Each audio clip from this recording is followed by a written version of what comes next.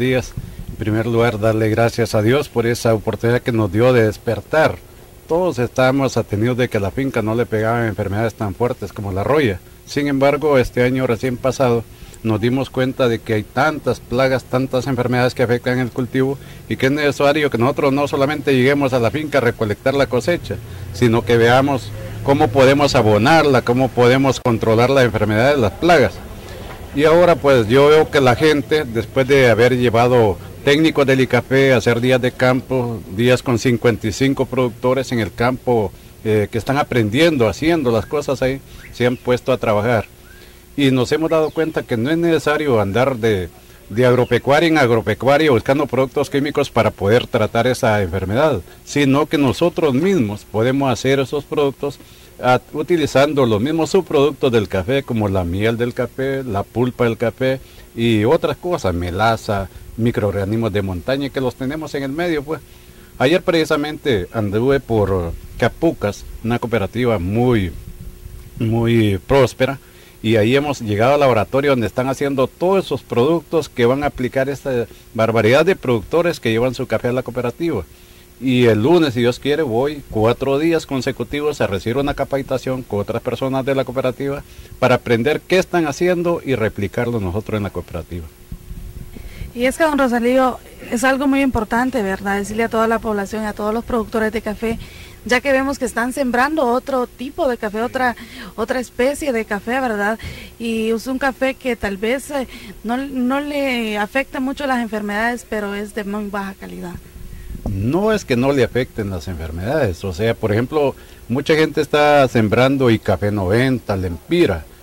que no es que sean inmunes a la enfermedad de la roya, son resistentes, que es diferente, pero la roya siempre lo afecta un poquito y si no lo afecta la roya, lo va a afectar la muerte descendente, la mancha, la mancha de hierro, el ojo de gallo y otras enfermedades. Y esas variedades que la gente ha creído que son resistentes y que es la alternativa,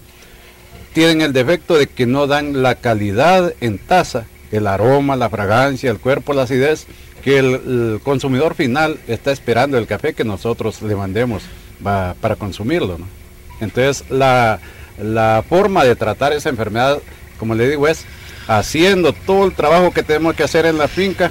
como análisis de suelo, regulación de sombra, poda en el café, atomización de foliares, encalar el suelo, o sea, mantenerse con diversas actividades en la finca para que la planta esté robusta y que no la agobian tan fácilmente las enfermedades.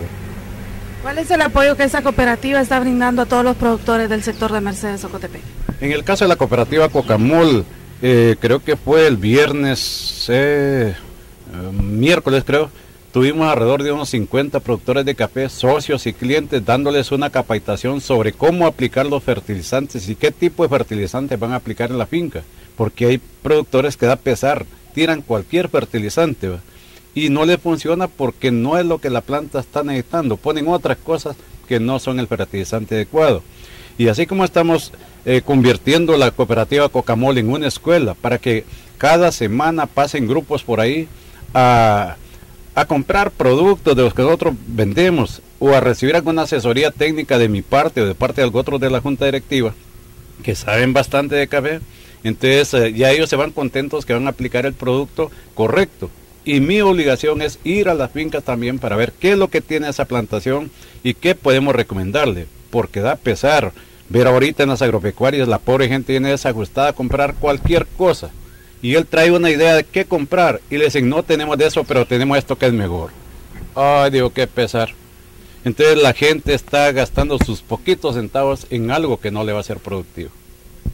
¿Cuál sería ese mensaje para todos los productores de café, verdad, de toda la zona y también a los consumidores?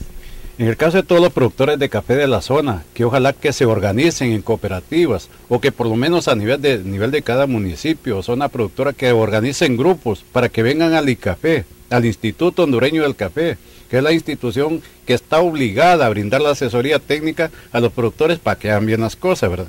Y en el caso de, de los, uh, usted me ha preguntado sobre los consumidores de café, que empecemos desde casa, ya no se puede permitir que si yo produzco buen café, tenga que estarme tomando el café de mala calidad. el mejor café que se produce en mi finca y en su finca y en la finca de cada productor tiene que cortarse, beneficiarse en forma y de ese café es el que tenemos que tomar.